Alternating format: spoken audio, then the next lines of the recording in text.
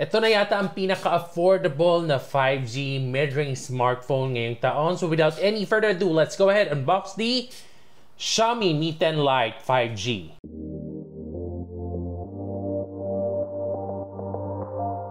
Hi guys! Welcome back to my channel. So nagbabalik na naman ako for another quick unboxing and first impression hands-on review.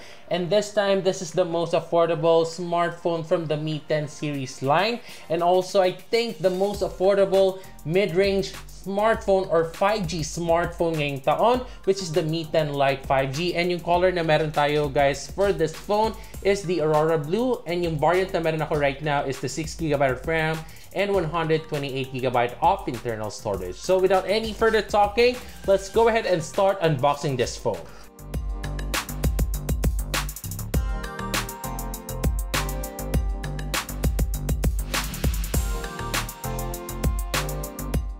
So inside the box guys, we have the small box that contains the SIM pin ejector, user guide manual and the warranty card and also we have the pre-jelly case So sa pinakaloob ng ating small box, we have the Mi 10 Lite 5G na unit. So set aside muna natin ito guys. So sa pinakaloob ng ating box, we have the USB Type A to USB Type C cable and the wall charger.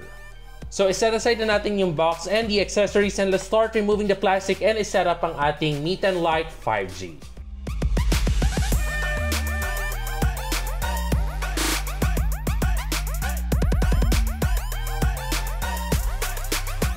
And here's the 10 Lite 5G guys. And as you can see, we have a Qualcomm Snapdragon 765 with 5G capability, 6.57 AMOLED True Color display, 48 megapixel AI quad camera, and a 4060 or 160 milliamp hour battery capacity.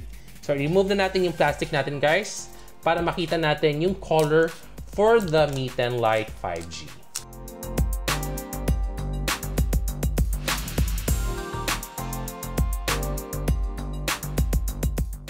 And here's the Aurora Blue for the Mi 10 Lite 5G. Sobrang ganda ng color para sa ating smartphone. I know hindi na siya bago when it comes to the color since marami na rin talaga naglabasan at masyadong gamit na gamit na talaga ang Aurora Blue sa isang smartphone. But so far, sobrang ganda at stunning ng ating color para sa ating Mi 10 Lite 5G. And before ko iset up ang ating phone, itour ko lang kayo kung ano ba meron sa labas ng ating Mi 10 Lite 5G. So sa right part ng ating phone, we have the volume rocker, the power button. So sa left part naman guys, wala tayong any buttons or any um, SIM tray or bump. So sa upper part ng ating phone, we have the secondary microphone, IR blaster, and good job, we still have the 3.5mm headphone jack.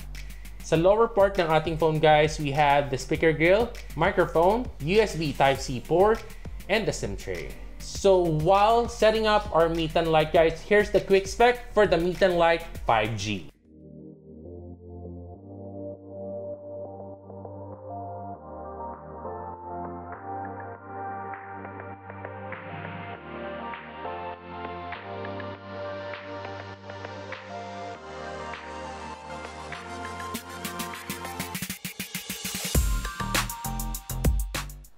I'm done setting up the Mi 10 Lite 5G and as you can see, we have a rectangular camera module design para sa ating smartphone with a glossy finish sa likod ng ating Mi 10 Lite 5G. Ang problema ko lang talaga sa mga ganitong klaseng finish sa likod ng isang smartphone, sobrang dali niyang kapitan ng fingerprint. Very smudge magnet talaga ang likod ng ating Mi 10 Lite 5G.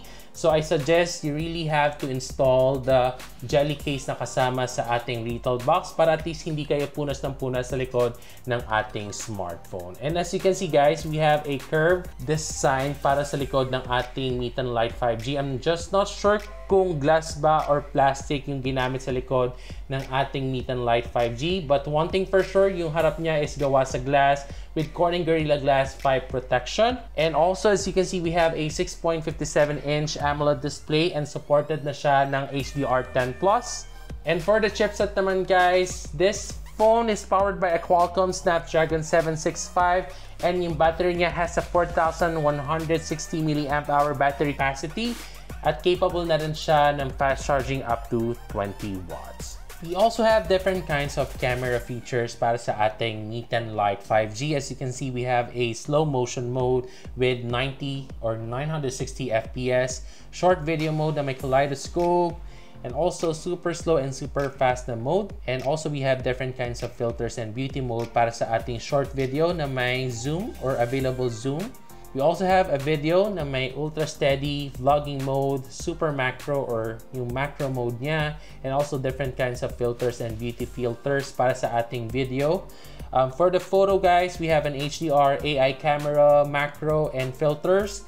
And we also have a dedicated 48 megapixel na camera mode, portrait mode, night mode, panorama, and the pro mode. And as you can see, we have a notch camera design para sa ating Meet and Light 5G with a 16 megapixel camera and para sa rear naman guys we have a 48 megapixel AI camera para sa ating Meet and Light 5G. So I'll be showing you some sample photos na nakunan ko using and shot with Meet and Light 5G.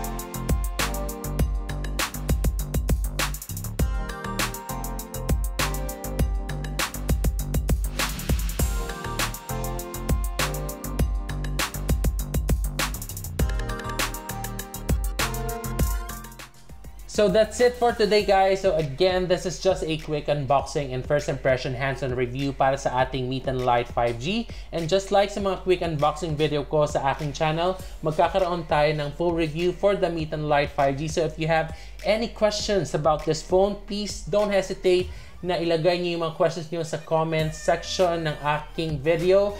And also para mabati ko na rin kayo sa aking full review. So kung nagustuhan niyo ang quick unboxing ko and first impression hands-on review for the Xiaomi Meet and Light 5G. Please don't forget to like this video guys, share to your social media account, and don't forget to subscribe to my channel and tap the bell icon para ma-notify kayo sa mga future unboxing video ko.